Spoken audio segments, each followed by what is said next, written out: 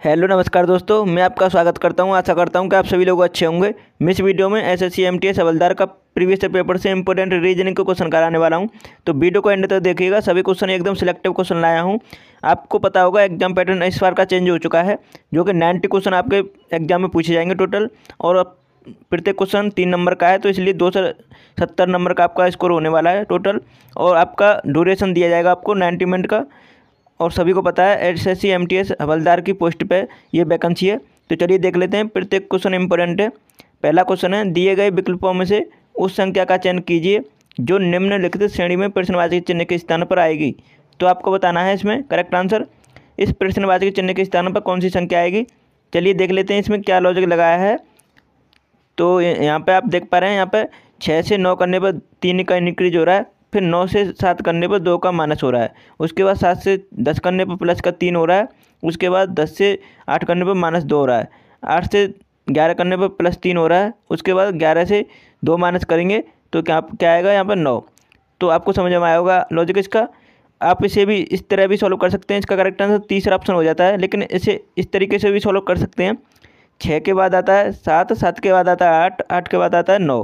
तो नौ आ जाएगा यहाँ पर। उसके बाद नौ से दस दस से ग्यारह और ग्यारह से बारह तो आपको पता चला होगा, यहाँ पर नौ ही आंसर आने वाला है। यहाँ पर किसी भी तरीके से कर सकते हैं। तीसरा ऑप्शन है, इसका राइट आंसर है। इंपॉर्टेंट क्वेश्चन है। दूसरे क्वेश्चन का आंसर बताएँगे। उस विकल्प का चयन करें जो तीसरे अक्षर समूह से उसी प्रकार संबंधित है, जिस प्रकार दूसरा अक्षर पहले अक्षर समूह से संबंधित है। तो आपको बताना है यहाँ पर क्वेश्चन मार्क्स की जगह पे क्या आएगा? जिस प्रकार यहाँ पर जो पहले अक्षर समूह से दूसरा अक्षर समूह संबंधित है तो तीसरा अक्षर समूह से पूछा है, चौथा अक्षर समूह क्या आएगा? तो यहाँ पर देख लेते हैं क्या लॉजिक लगाया है। आर के बाद ऐसा आता है ओ के बाद यहाँ पर ओ ओ से यहाँ पर कितना इंक्रीज किया गया है? तीन। उसके एम से यहाँ पर कितना इंक्रीज किया गया है? तो यहाँ पर किया गया है सात। तो आप देख पा रहे होंगे, एक तीन सात, एक तीन सात का लॉजिक लगाया है, उसी प्रकार हम यहाँ पर लगाएँगे तो पी में एक जोड़ेंगे तो पी के बाद आता क्यू फिर उसके बाद हम तीन जोड़ेंगे एन में एन में तीन जोड़ने पर यहाँ पर आएगा क्यू और यहाँ पर उसके बाद यहाँ पर ए में हम सात जोड़ेंगे तो ए में सात जोड़ने के बाद आएगा एच तो क्यू क्यू एच तो यहाँ पर फोर्थ ऑप्शन इसका करेक्ट आंसर हो जाता है, एक ही ऑप्शन है फोर्थ ऑप्शन तो इसका राइट आंसर है फोर्थ ऑप्शन आशा करता हूँ समझ में आया होगा। नेक्स्ट क्वेश्चन देख लेते हैं, तीसरे क्वेश्चन का आंसर सभी बताएँगे एक निश्चित कोड कोड में आपको पिज़्ज़ा को इस प्रकार लिखा जाता है। उसी कोड में ब्लैक को क्या लिखा जाएगा? तो यहाँ पर C M B D L लिखा गया है और बुजी को क्या लिखा जाएगा? आपको बताना बुजी को क्या लिखा जाएगा। चलिए देख लेते हैं।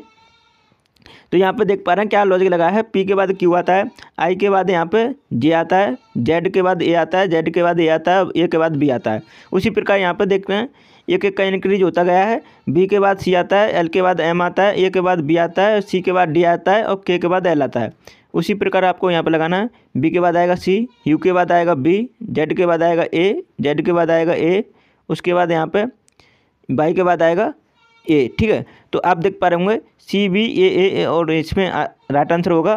सॉरी यहाँ पे गलत हो गया। बाई के बाद जेड आता है। मैं मिस्टेक कर दिया था तो बी तो यहाँ पे क्या आएगा? सी बी ए ए जेड ठीक है? तो यहाँ पर किस ऑप्शन में है इसका? तो इसका राइट आंसर एक ही ऑप्शन है। थर्ड ऑप्शन ठीक है? तो ऐसा करता हूँ, समझ में आया होगा। एक एक का इनक्रीज करते जाएँगे। लॉजिक समझ में आना चाहिए आपको बस। उस विकल्प का चयन करें जो तीसरे अक्षर समूह से उसी प्रकार संबंधित है, जिस प्रकार दूसरा अक्षर समूह पहले अक्षर समूह से संबंधित है। उसी टाइप का क्वेश्चन है तो आपको बताना डी जी पी से इस प्रकार डब्ल्यू टी के लिखा गया है, उसी प्रकार एम ओ एस से क्या लिखा जाएगा? चलिए देख लेते हैं यहाँ पे डी से डब्ल्यू यहाँ पे तो कोई लॉजिक नहीं कर सकते हम फिर इसमें। तो यहाँ पे आप देख पा रहे एक दूसरे के विपरीत हैं ये, और जी से टी एक दूसरे के विपरीत हैं पी से के एक दूसरे के विपरीत हैं। उसी प्रकार हमको आपको बताना है, इसमें एम से बात आता है एन विपरीत ओ का विपरीत होता है, एल विपरीत, एच का विपरीत होता है, एच विपरीत, ठीक है? तो यहाँ पे N, L, H, N, L, H किस ऑप्शन में? थर्ड ऑप्शन इसका राइट आंसर है। आशा करता हूँ समझ में आया होगा। अगर आपने अभी तक हमारा चैनल सब्सक्राइब नहीं किया है तो चैनल को सब्सक्राइब कर लीजिएगा और प्लीज़ वीडियो को लाइक कर दीजिएगा। पाँचवें क्वेश्चन का आंसर बताएँगे। एक निश्चित, एक विशिष्ट कुछ भाषा में पॉइंट को ग्यारह लिखा गया है। उसी कूटबद्ध किया गया है। ग्रांडेस्ट को लिखा गया ग्यारह। उसी प्रकार आपको हेमंत को बताना क्या लिखा जाएगा। चलिए देख लेते हैं यहाँ पे। पी का कोड क्या होता है?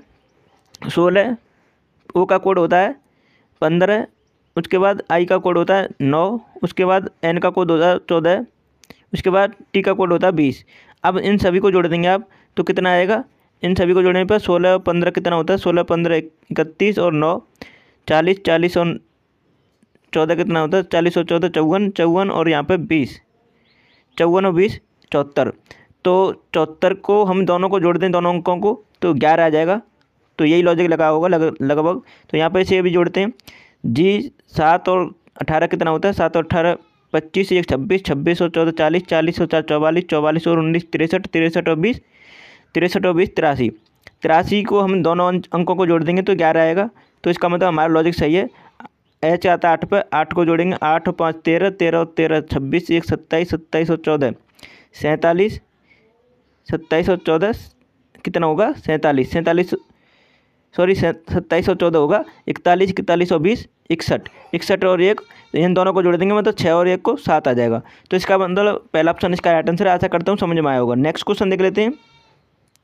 छठवें क्वेश्चन का आंसर बताएँगे आप सभी। दिए गए विकल्पों में से उस अक्षर समूह को चयन कीजिए, जो निम्नलिखित श्रेणी प्रश्नवाची के चिन्ह के स्थान पर आ सकता है। तो करेक्ट आंसर अब आपको बताना है प्रश्नवाची के चिन्ह के स्थान पर कौन सा अंक मतलब अक्षर आएगा, अक्षर समूह। तो यहाँ देख लेते हैं क्या लॉजिक लगा है। टी के बाद हम कितना जोड़ें कि जेड आ जाए छः जेड में छः जोड़ने पर छः आएगा एफ़ आएगा, और एफ़ में छः जोड़ने पर एल आएगा। उसके बाद एल में हम छः जोड़ेंगे तो कितना आएगा? एल आता है बारह पर छः जोड़ने पर आएगा अठारह। अठारह मतलब आर आता है उसके बाद हम आर से ऑप्शन स्टार्ट होगा तो इसका मतलब पहला और दूसरा तो कट जाता है। अब यहाँ पे एक्स के बाद आता है।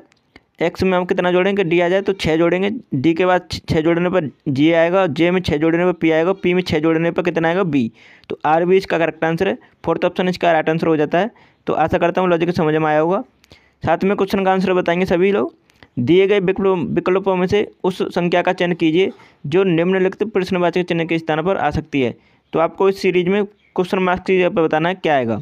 तो यहाँ देख लेते हैं क्या लॉजिक लगा है। छः सौ बत्तीस में छः सैंतीस किस प्रकार आया है, पाँच जोड़ने पर। उसके बाद हम चौवालीस तक जाएँगे तो कितना जोड़ेंगे, सात। उसके बाद चौवालीस से हम छः सौ तिरपन तक जाएँगे तो कितना जोड़ेंगे हम। तो यहाँ पे छः सौ तिरपन तक नौ जोड़ेंगे और नौ में फिर हम कितना जोड़ेंगे यहाँ पे छः सौ तिरपन बाद छः सौ चौंसठ आ जाए, ग्यारह।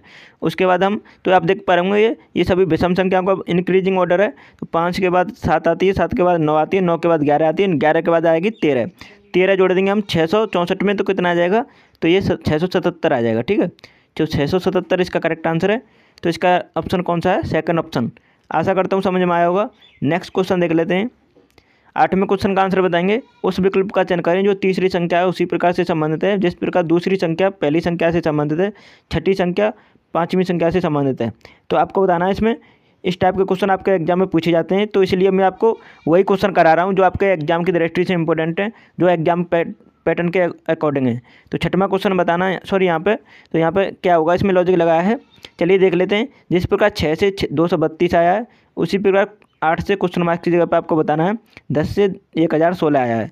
तो चलिए देख लेते हैं छः का क्यू करेंगे तो कितना आता है? छः का क्यू करने पर आता है? दो सौ सोलह दो सौ सोलह, ठीक है?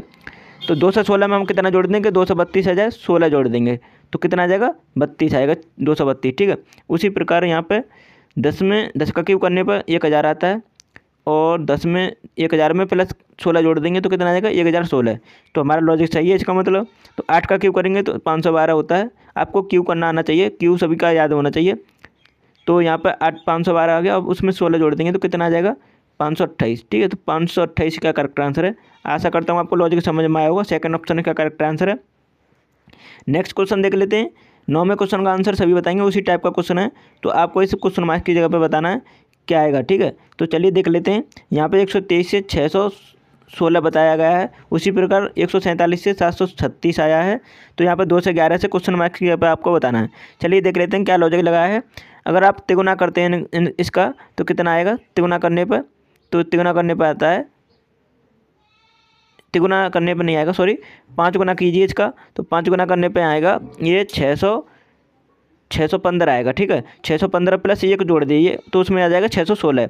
उसी प्रकार आप इसका तिगुना करेंगे तो तिगुना करने पे आएगा सात सौ पैंतीस ठीक है? तिगुना करने पे सात सौ पैंतीस आएगा प्लस एक जोड़ दीजिए सात सौ छत्तीस आ जाएगा। अब हमको लॉजिक समझ में आ गया क्या लगने वाला है? तो पाँच गुना कर रहे हैं यहाँ पर तिगुना नहीं करना सॉरी तिगुना नहीं करना है इसका पाँच गुना करना है एक सौ तेईस का तब प्लस एक करना है ठीक है?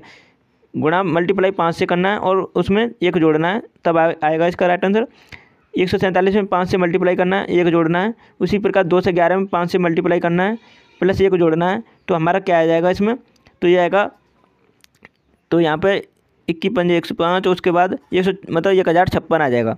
तो यहाँ पर पहला ऑप्शन इसका राइट आंसर है। आशा करता हूँ समझ में आया होगा आपको लॉजिक नेक्स्ट क्वेश्चन देख लेते हैं। दसवें क्वेश्चन का आंसर सभी बताएँगे। एक निश्चित कूट भाषा में डिटेल को इस प्रकार लिखा जाता है। हेल्थ को इस प्रकार लिखा जाता है। उसी कूट भाषा में मोशन को क्या लिखा जाएगा? चलिए देख लेते हैं क्या लॉजिक लगाया है इसमें। तो यहाँ पे डी से एफ़ जाने पर दो इनक्रीज किया गया है। ई e से सी जाने पर माइनस के दो किया गया है। टी से बी जाने पर दो इंक्रीज किया गया प्लस का। फिर ए से बाई जाने पर माइनस के दो किया गया अब आपको एक लॉजिक समझ में आया होगा। इसी प्रकार हम इसमें भी देख लेते हैं। एस से जे जाने पर प्लस दो ई e से सी जाने पर माइनस दो। ए से सी जाने पर प्लस दो एल से जे जाने पर माइनस दो। तो आपको पता चल गया कि प्लस दो, माइनस दो, प्लस दो, माइनस दो का लॉजिक लगने वाला है। तो यहाँ पर इसी प्रकार लगाएँगे। तो यहाँ पर एम में दो करेंगे प्लस तो कितना आएगा? ओ ओ में माइनस करेंगे तो एम आ जाएगा। फिर दो प्लस करेंगे तो बी आ जाएगा। फिर दो माइनस करेंगे तो कितना आ जाएगा? आई में दो माइनस करने पर जी आ जाएगा।